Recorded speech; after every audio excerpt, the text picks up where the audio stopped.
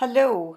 Carol Ann Duffy's Valentine is a particularly important one for you, and I hope that you listen up to this one because um, you may have need to.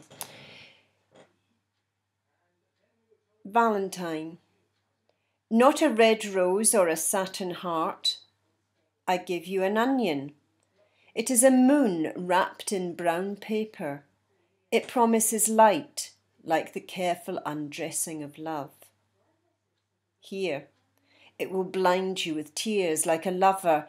It will make your reflection a wobbling photo of grief. I'm trying to be truthful. Not a cute card or a kissogram. I give you an onion its fierce kiss will stay on your lips, possessive and faithful, as we are for as long as we are. Take it. Its platinum loops shrink to a wedding ring, if you like.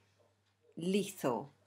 Its scent will cling to your fingers, cling to your knife.